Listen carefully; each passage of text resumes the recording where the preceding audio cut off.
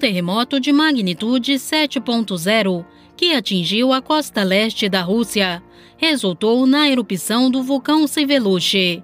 O evento sísmico e vulcânico aconteceu em uma região oriental de Kamchatka, que abriga aproximadamente 180 mil habitantes.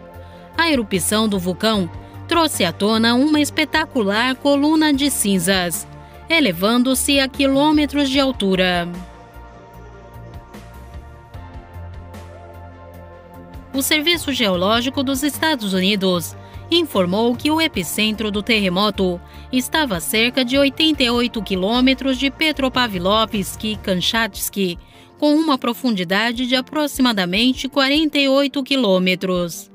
Felizmente, não foram relatados feridos, devido ao terremoto ou à subsequente erupção vulcânica.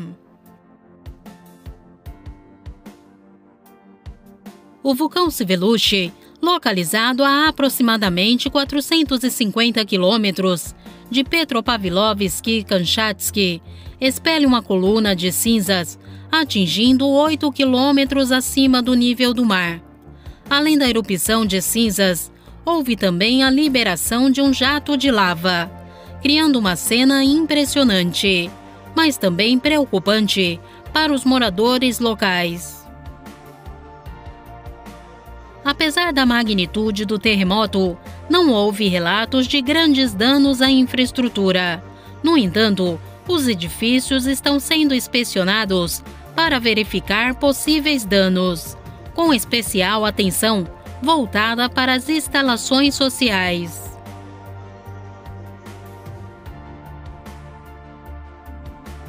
Vale destacar que, apesar da magnitude do evento sísmico, o Ministério de Emergências russo não emitiu um alerta de tsunami. No entanto, o Sistema de Alerta de Tsunami dos Estados Unidos havia avisado anteriormente sobre uma possível ocorrência de ondas de tsunami perigosas, de até 300 quilômetros do epicentro, ao longo das costas da Rússia.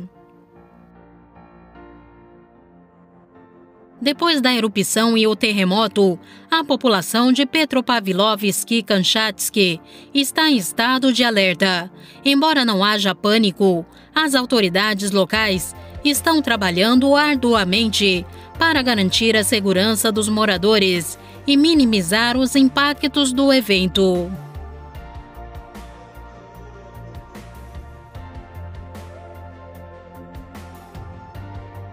Aqui no Fatos Notícias você fica por dentro de tudo o que acontece no Brasil e no mundo.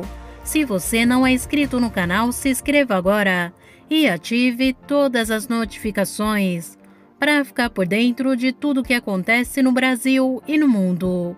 Muito obrigada por assistir até aqui e até o próximo vídeo.